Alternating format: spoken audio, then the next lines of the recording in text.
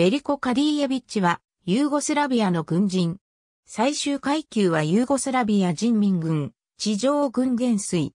1988年から1992年の辞任までユーゴスラビア社会主義連邦共和国における国防大臣の職にあり、10日間戦争及びクロアチア紛争初期における事実上のユーゴスラビア人民軍総司令官であった。カディエビッチはセルビア人の父とクロアチア人の母のもと、ユーゴスラビア王国の芋付きにあるグラビナドンジャという小さな村で生まれた。父と母の民族が異なるが、彼自身はユーゴスラビア人を自称した。1942年、彼はユーゴスラビア共産党の党員となり、軍事部門である人民解放軍の一員として第二次世界大戦におけるユーゴスラビア戦線に従軍した。戦後もユーゴスラビア人民軍の軍人として現役に泊まり、1963年にはアメリカ陸軍の式幕僚大学に留学、卒業している。カディエービッチはユーゴスラビア社会主義連邦共和国の第5代防衛大臣に就任した。ユーゴスラビア共産主義者同盟が解体された後、彼は共産主義者同盟ユーゴスラビア運動なる後継組織の創設者の一人となった。1991年5月、彼は連邦共和国の閣僚に対する公的な声明の中で平和の確保に失敗した。ユーゴスラビア軍はより効率的にそれができるはずだったと述べた。その後、彼はすべての役職を辞して軍も退役し、セルビアに隠居した。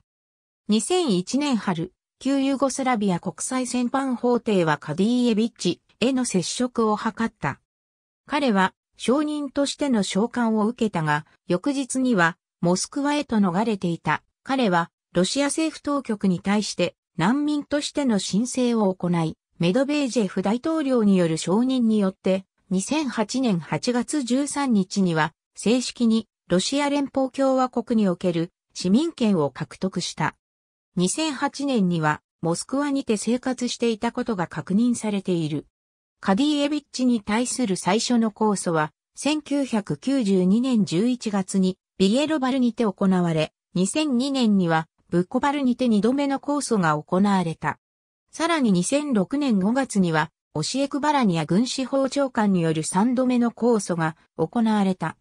2007年6月21日、クロアチア内務省は民間人に対する戦争犯罪を理由にカディエビッチの逮捕状を作成した。またインターポールも2007年3月23日に逮捕状を作成している。カディエビッチのロシア市民権獲得後、クロアチア政府はロシア連邦政府当局に対してカディエビッチの引き渡しを要求しているが、現在までロシア側は対応していない。元旧ユーゴスラビア国際戦犯法廷職員のマルコ・アッティラ・ホアーによると、イクティ調査団は、ミロシェビッチ、カディエビッチ、ブラゴイエアジッチ、ボリサブヨビッチ、ブランコ、コスティッチ、モミル・ブラトビッチら元交換を共同犯罪組織として起訴しようと試みたという。しかしカルラ・デルポンテ検事はこれを退け起訴状をミロシェビッチのものに限定し、結果として、その他の元交換らは起訴されなかった。2007年になるとカディーエビッチに関する報道と関心は再び高まった。後に誤りと判明したが、カディーエビッチがアメリカフロリダ州に生活しているという仮説が持ち上がったのである。2007年3月、クロアチアの新聞は、カディーエビッチはイラクで遠兵号の捜索を行うアメリカ軍の特別顧問として働いており、また同時にドミトリー・ヤゾフ将軍の助けを得て、モスクワに暮らしているという一見して矛盾した報道を行った。2007年3月26日、クロアチアのニュースポータルにカディエビッチのインタビュー記事が掲載され、この中でカディエビッチはイラクで連合軍の顧問として働いていることを認めたとされた。ただし、彼は2007年10月初旬、カディエビッチは、次長、コントローター、モイポギルドならスパットユーゴスロビーへの宣伝を行うべく、モスクワに現れた。その後、81歳になっていたカディエビッチはセルビア、及びクロアチアのメディアによるインタビューに応じた。2007年11月9日、セルビア国営放送のオリベラ・ヨビチェブ一記者によるインタビューが行われ、これは2007年11月13日にゴールデンタイムの報道番組アピットニックにて放送された。また、放送翌日の11月14日には、クロアチア国営放送のヨシップサリッチ記者によるインタビューが行われた。それらのインタビューにて、カディエビッチは2000年以降は難民としてロシアに暮らしていると述べた。